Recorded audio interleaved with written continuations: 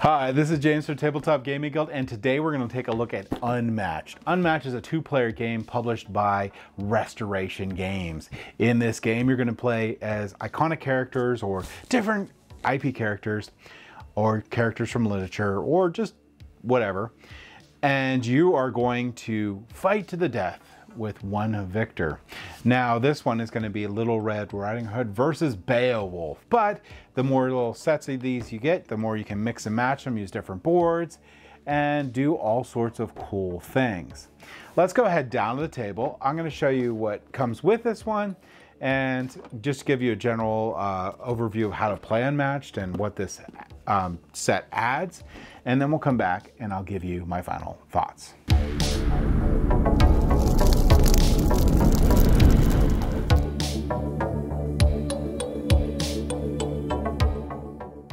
All right, so this is unmatched. This is Beowulf versus Little Red Riding Hood. In this game, you're going to get your own little deck uh, that is custom for each player. Each player is going to have a main character and a sidekick. So this is the miniature for uh, Little Red Riding Hood, and this is the miniature for Beowulf. The miniatures are really cool, and they have this like black wash on them. That's really nice. You're going to set the starting positions as shown here, but your sidekicks can technically go into any region uh, that you have uh, that you're in. So in this case, the sidekick could go anywhere that uh, has this color here or the yellow, but there's a door that's closed, so I can't see those. So he can go anywhere along here, uh, where this one can go anywhere in the orange areas. Once I have that set, we're ready to start. Each player is going to draw five cards.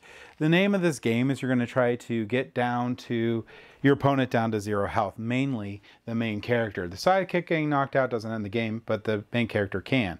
And you have these really cool dials to mark that.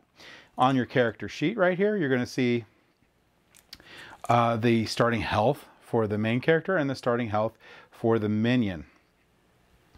Also, you're going to see how much movement it has. Both these have move too, uh, which is pretty good. And there's two different types of attacks in this game. There's going to be ranged and melee. Uh, we'll go over both of those in a second, but you have two actions on your turn. You're going to have your five cards.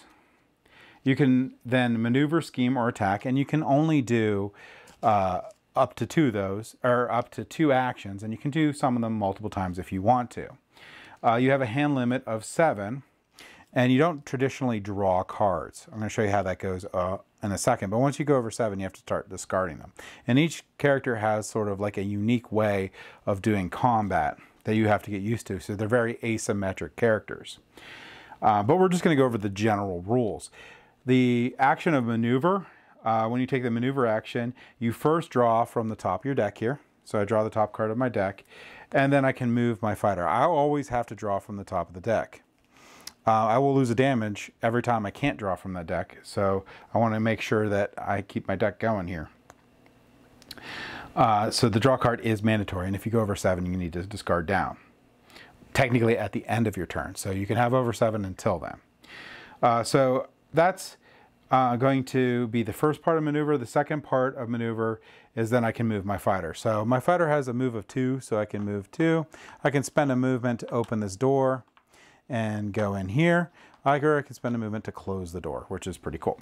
All right, not all the boards have that, by the way. Each board's a little different with each of the fighters on there.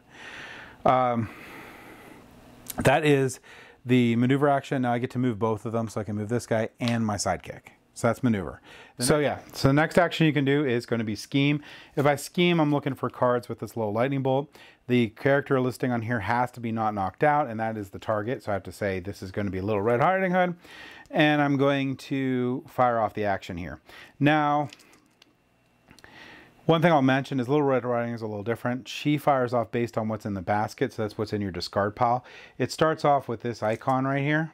So that means that this would fire off, place Little Red Riding Hood on any space and gain one action. But if, let's say, this card was discarded, and in there I would have gained, I would have draw three cards. If we would have had this card discarded, I would have got uh, deal two damage to each opposing fighter in Little Red Riding Hood's space. So for Little Red Riding Hood in particular, you're trying to uh, manage this basket. Uh, for Beowulf, you're trying to manage these rage tokens, and you can have up to three, and you can spend them to do extra damage or really cool stuff, but you're going to be managing rage tokens for him. Um, but that is basically the scheme action. So you get to play one of those. And once it's played, it goes into the discard pile after it's resolved. Another thing to turn out, or um, another thing to bring up is when you're doing your maneuver, you can discard this card for the value that's right here to make you move more. So if I discard this card while I'm doing maneuver action, I'd have two plus two, four spaces that I could go. There's other cards that let you boost things uh, with this, but in general, that's the only thing you can do with it. Uh, some cards will let you break the rules and use that to help boost your attack and stuff. So then we get into your last action that you can do, and the last action you can do is attack. So in the attack action, you're going to declare target. Uh, if you're doing a, so let's move people around. If you're doing a melee attack, they have to be adjacent from each other. If you're doing a range attack, they have to be in the same uh, area. So since this has the half moon gray here, half moon gray, half moon gray, there it's in range. If I was here, this would be in range. Um, that's how range works. So it's super simple. Now there's two sides to this board just thrown out there. This one's a little easier because it's very uh, straightforward coloring for the different areas on the board. The other side is more uh, of uh, looks better, uh, but and, and, and around the ring has the colors instead of in the ring. But that's the only difference really between these two boards, and that's how you do range or adjacent. Well, how do you do your attacks?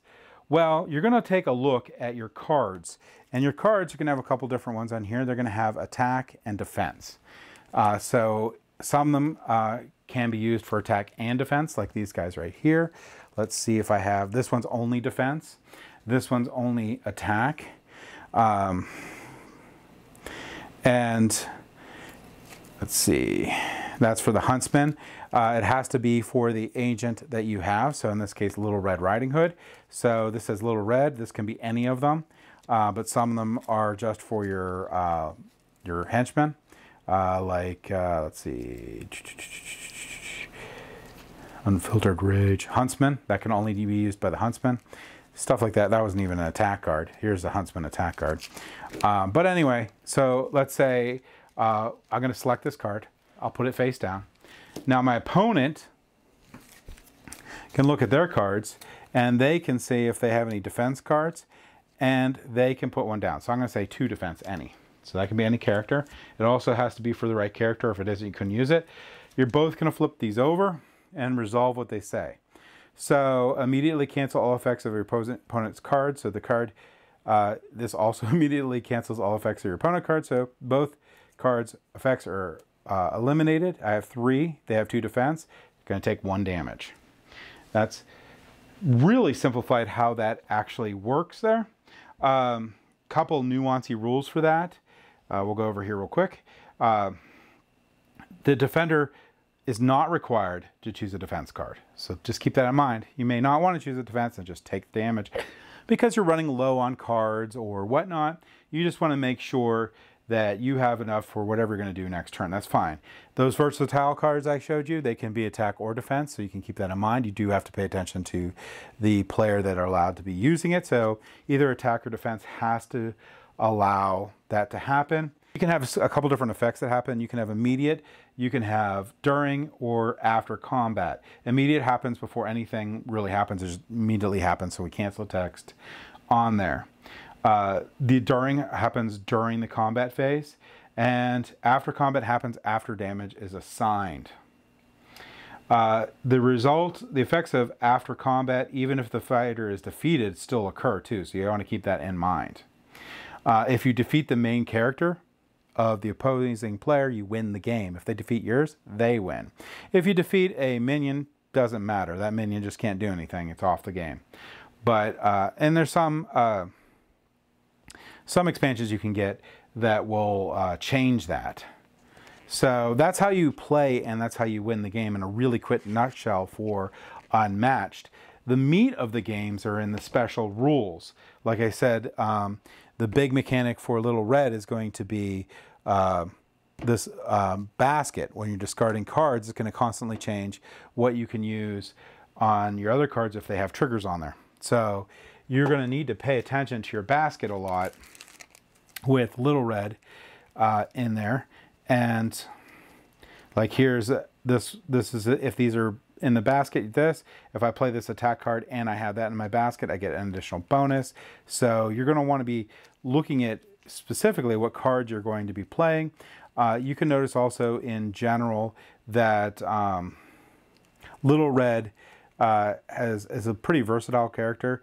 Uh, the Huntsman has all attack, but Little Red has a good balance of defense and attack. She's pretty good at defending herself, and when she hits, it's not normally very hard. Uh, there's some exceptions, like some exceptions like this one, uh, but um, in general, uh, you're going to be doing your heavy hitting with your huntsman with this deck. Now you will notice that there is a um, this symbol here. So this symbol here I didn't mention. If that's in your basket, it's any symbol. So I was wrong in the beginning. Uh, this is any symbol to start. So I could have picked anything from that I wanted. But once I start discarding these, then that's the symbol. And that's little red. Beowulf, on the other hand, is crazy. Um, if you look at Beowulf, um, he has a lot of things here. He has some pretty heavy attacks. So he's, he's big on attack, and he has some pretty big defenses in here. Um, but yeah, he's he's mainly going to be uh, focusing all in and around this rage and spending rage to do extra damage and doing all these things. He can spend any amount of rage, choose a different effect for each rage spent. So while I'm gathering them up, I can draw two cards, move Beowulf up to four spaces, recover two health. So if I have up to three rage, which is my max, I can do three of those things, which is amazing. Um, some uh, like uh, this one here, no uh, context uh, expecteth.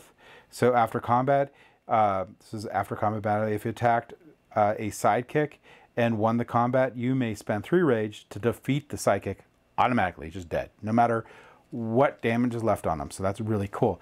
So Beowulf has some pretty big hits that all uh, go around getting and losing the rage. So you're going to be balancing that resource with him throughout the game. So, like I said, there's a ton of different unmatched games, so they all plays a little differently, but that's a little sneak peek on how these play. Uh, I sort of like the little red with the, the basket. Um, I don't know if she's my favorite fighter, but I'm getting used to that. And Beowulf is just more straightforward, so I'd say Beowulf is pretty good for new players. But that isn't just as how you play unmatched. Let's go ahead back up the table here and I'll give you my final thoughts. Okay, I like Unmatched. I really, really like Unmatched. I think it is an amazing system in here. So with that said, and the component quality is great. Restoration Games did a great, great job with this whole Unmatched system. Component quality is great. You get a really good components for the price that you pay, and it's really great in general anyway. Uh, and like the little miniatures that you get on there, like everything about Unmatched. It's a really good, fast-paced, two-player competitive game, skirmish game. It's just amazing. So getting past that, what do I think about the two characters that come in this compared to maybe some of the other sets? Now, there's some that I, well, I mean, this Beowulf I like a lot. So I like Beowulf a lot. I like that rage thing going with Beowulf, and I like how uh, the synergy with the different cards. Um, Little Red Riding Hood's fine, not my favorite, but it's fine. I can see where a lot of people would like it a lot. I just don't like that basket mechanic where I have to pay attention to the one that's on top as much. Um, I'm more, I guess I'm not like a uh, delicate player. I just go in and just need to bash things. So um, Beowulf is much, uh, much uh, more up my alley. I also like Alice, uh, which is from a different set, just because she can get um, big or small with offensive, defensive. Like that one a lot. So overall, I really like this set. Uh, I like the doors that can be in there. You can shut the door. Uh, that's a pretty cool mechanic or open it again. I like, so I like the player boards that come on this. I like the zones, how they're laid out on it. Really good expansion. Um, if you're if you like Unmatched, you're gonna like this expansion. Uh, if you've never been played Unmatched, you couldn't get this, and it's standalone, and you don't need to get anything else if you don't want, and you can play a excellent balanced two-player game. You're probably going to become addicted if you like it and want to get expand the universe and get more of these sets, which is perfectly fine. Um, this is just one that I uh, would recommend. Uh, I probably put it in the middle for what I think about the different characters that you can get in this series as of now. So that's my thought on Unmatched uh, Little Red Riding Hood versus Beowulf. Thank you for watching.